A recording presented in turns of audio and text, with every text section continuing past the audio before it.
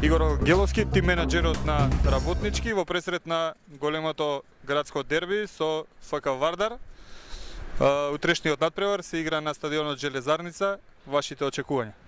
Па добро, ние се подготвуваме нормално како и пред секој надпревар, без разлика што станува за за едно соседско дерби, за еден ривалитет е, огромен меѓу двата клуба. Е, мислам дека за жал се игра на на Железарница, знаеме дека теренот не дозволува баш е, некоја некоја добра тревната подлога каде што може да се негува тој е, дотеран технички фудбал, меѓутоа какви се условите за нас и за Вардар, ќе се прилагодуваме и одиме да го даеме максимумот за да успееме на крај да извлечеме поголем резултат.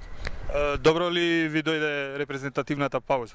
Па ние немавме пауза, ние игравме за куп во Пелистер, така да го задржавме тој нормален тренажен процес, така да мислам дека можам да кажам дека добро ни дојде мислам дека работевме нормално, нормално се спремавме, меѓутоа очигледен е мотивот кај моите фудбалери како што се ближи над прерод, така и, и мотивацијата се повеќе расте. Амбициите на работнички остануваат исти и излез во Европа. Па добро, амбициите се тие, би рекол дека ние кажавме одиме од надпревар во надпревар.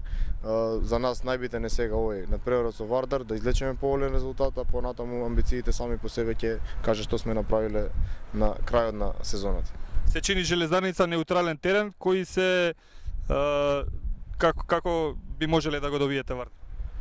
Па мислам дека ги знаеме и добрите и лошите страни на на Вардар, ќе пробаме да ги искористиме нормално оние оние послабите, добрите да ги неутрализираме. Е, по традиција играме без разлика што е таков теренот, односно бележиме поволни резултати со кога играме против Металург на тој терен, се надевам дека така ќе биде и утре. На крајот имали проблеми со составот или не? А, само Горан Силјановски поради пет жолти картони нема да да настапи, останатите сите се во во ростерот на надпреварот кој ќе настапи ќе одлучиме утре пред надпреварот.